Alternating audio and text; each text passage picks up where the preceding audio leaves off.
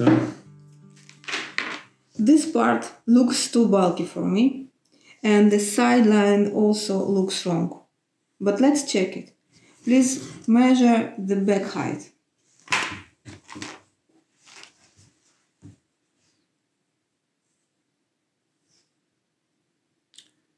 Sixty-four. It's wrong measurement. You have here size 43. For size 43, this back height must be exactly 60 millimeters. But I wanted to make higher like in sneakers right here. You can do it, although we are making Oxford, but you can change a little bit the design of the back part. But the side line, this line, must lay exactly on the needed measurements, 60 millimeters.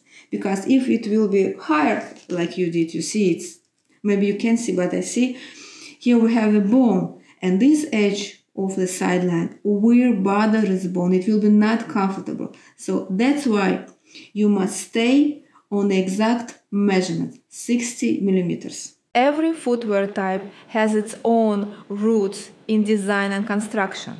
If you want to make comfortable shoes, not just ones that look good in pictures, you can skip this important shoemaking and pattern making approach.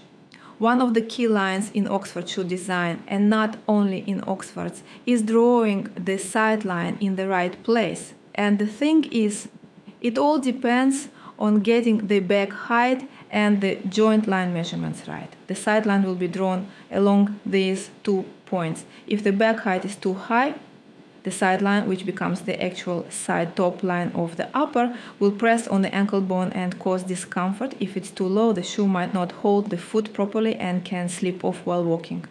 To learn how to design and create correct patterns for your shoes, join shoemaking courses online.